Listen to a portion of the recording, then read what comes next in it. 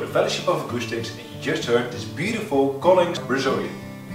This guitar, uh, as the name already indicates, features beautiful dark Brazilian rosewood back and sides. Uh, the official documents do come with the guitar, so it's all fully legal. Um, with Ivorite bindings, Ivorite heel cap, triple A Adirondack spruce top with Ivorite bindings uh, and herringbone purflings. Uh, of course the enlarged sound hole, uh, ebony bridge, ebony fretboard bound with Ivorite, 14 frets to the body, mahogany neck, ebony headstock overlay and on the back of the headstock open geared Waverly tuners. So let's hear this guitar some more now.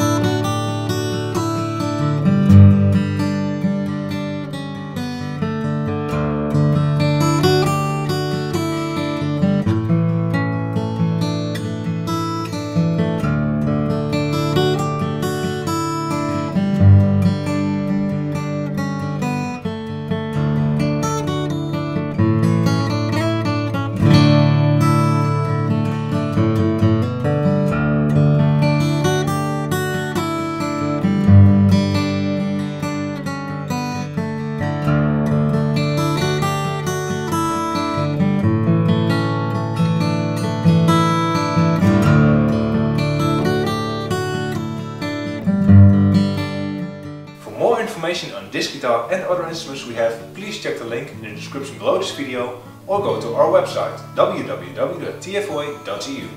If you like this video you can take a moment, hit the like button, leave a comment or subscribe to our channel. Thanks for watching and see you next time.